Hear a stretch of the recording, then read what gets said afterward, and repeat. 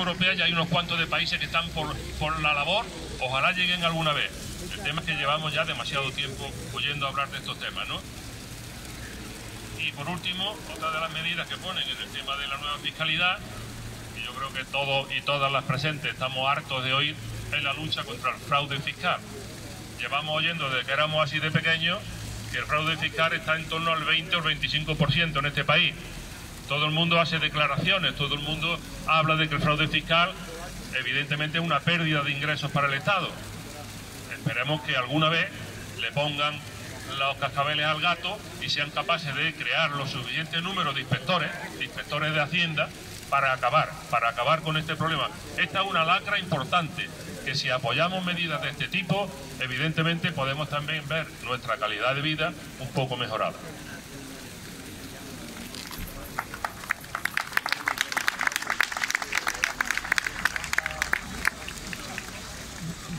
Bueno, ya sí es verdad, jefe. La, bueno, la segunda parte era que eh, en la reunión de la plataforma, sobre todo cuando estábamos discutiendo sobre el tema del pacto de Toledo, pues tomamos una decisión, tomamos un acuerdo de decir, bueno, el tema del pacto de Toledo, el tema del pacto de Toledo es un tema importante, nos afecta especialmente a los, a los, a los pensionistas y las pensionistas, y por tanto queremos conocer más. Alguien ha dicho antes que teníamos que formarnos más, informarnos más, tener más conocimiento cuando hablamos de ese tema. Entonces acordamos pues organizar una, una mesa redonda, una mesa redonda e invitar a los partidos mayoritarios, los partidos a nivel nacional que participan en el Pacto de Toledo. Hemos invitado a PP, hemos invitado a Ciudadanos, PSOE y Unidos Podemos. Ya han confirmado su presencia en la mesa redonda. Vienen el jueves a las 6 de la tarde en el Salón de Actos de Safa, vienen esos cuatro partidos. Pero no contentos con eso, no solamente es que vengan los partidos políticos que están en la comisión del Pacto de Toledo, el Parlamento, no. Porque después esas recomendaciones, esas recomendaciones, esas recomendaciones del Pacto de Toledo pasan a otra mesa, que es la mesa de diálogo social, que es el gobierno con los agentes sociales, sindicatos y patronal, la COE. También lo hemos invitado. Hemos invitado a comisiones, a UGT y a la COE. Ya tenemos confirmación también de que comisiones, alguien de comisiones viene, compañero de Málaga. UGT me dijeron que el viernes ya me iban a dar el nombre, no lo han dado todavía, espero que hoy nos den.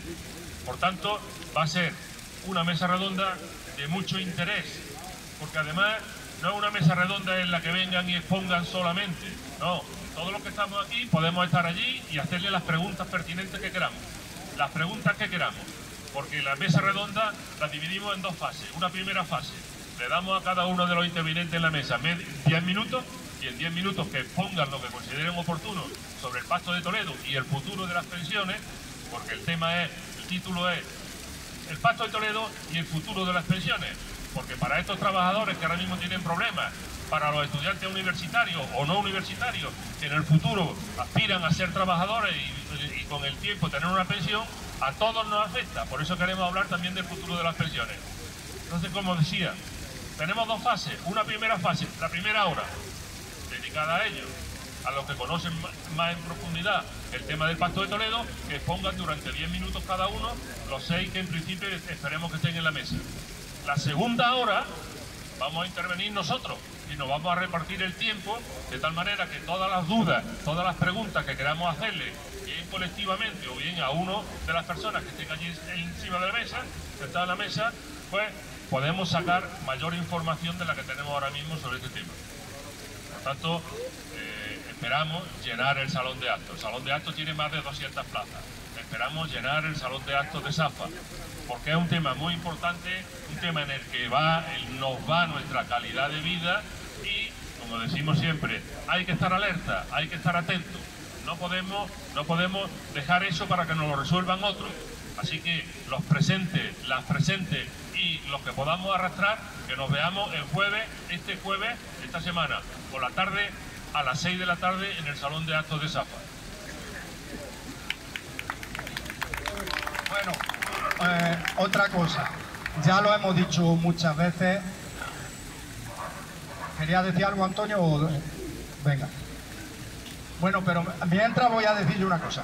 La financiación de la plataforma, mm, como sabéis, eh, la, plataforma autónoma no tiene financiación ninguna. Nos financiamos con las aportaciones voluntarias que cada uno hacemos.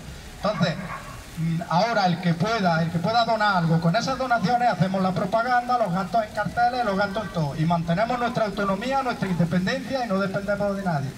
Entonces, con las donaciones ahora va a pasar una compañera a la hucha, el que pueda que aporte algo, y con eso es con lo que financiamos nuestros carteles y las actividades. Sí, me, recuerda Juan que para solicitar permiso en el ayuntamiento, para megafonía y todo, hasta nos cobran una tasa. Hay una tasa que nos, han mandado nos han mandado un papel para que paguemos la tasa, o sea que todo, todo nos cuesta. Entonces, eh, para que sepáis que la compañera que está pasando ahora la hucha es para eso. Nada más, ahora lo que digan. Eh, yo creo que ha habido una interpelación que ha hecho el compañero que intervenido antes sobre la desconfianza que nos significa para nosotros las propuestas electorales y el seguimiento que Eso es ya hijo de la desgana que tenemos como ciudadanos el ciudadano que se preocupa como tal, después de votar, sigue con atención qué ha pasado de su, de su voto. En ese sentido, es muy conveniente, lo repito casi siempre que hay ocasión, que tomemos ejemplo de los compañeros de Bilbao.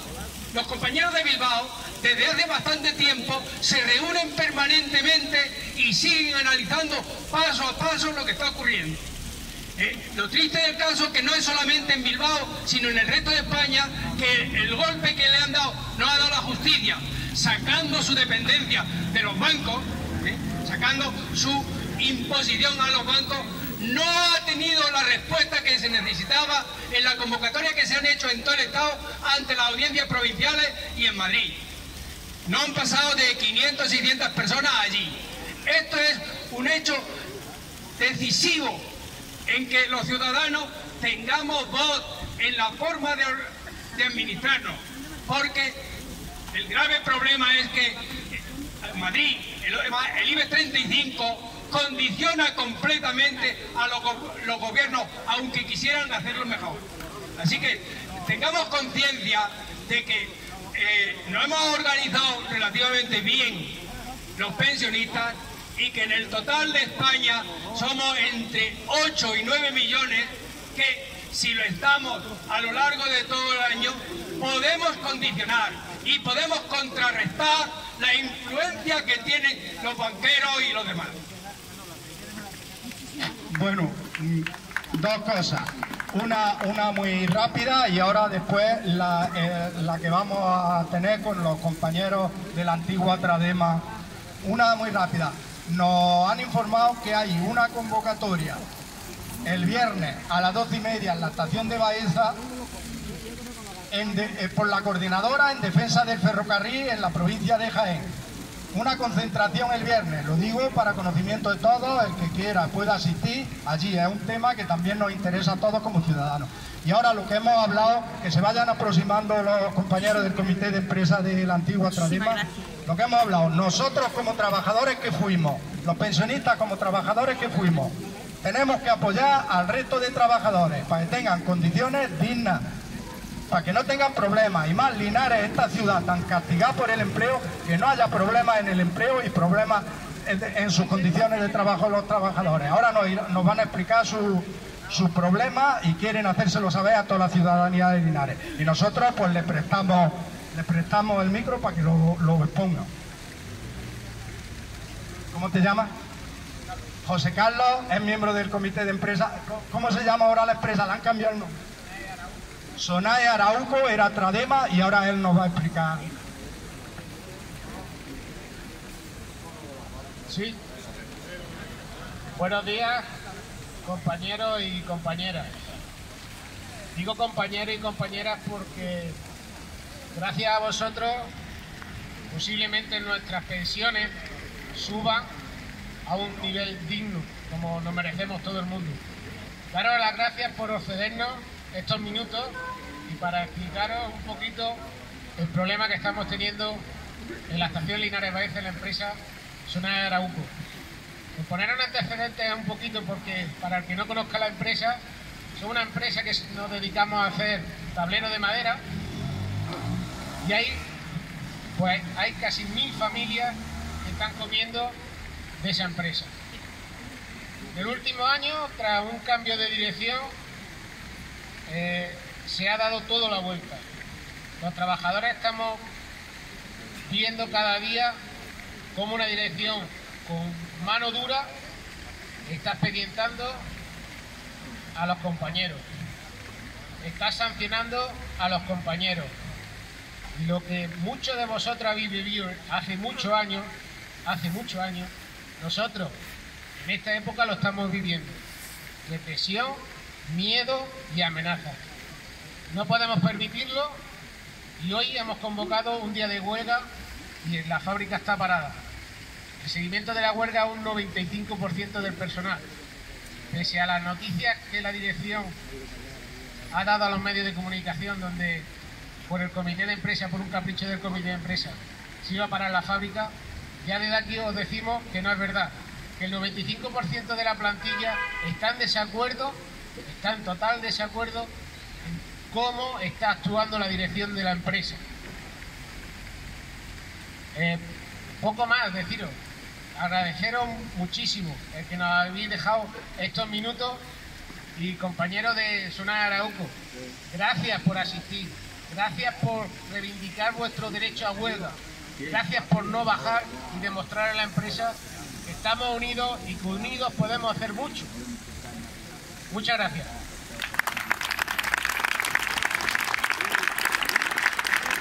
Gracias a vosotros y ánimo.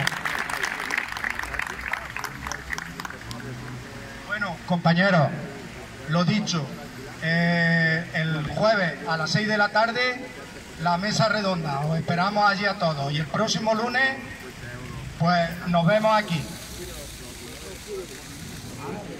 Muy bien.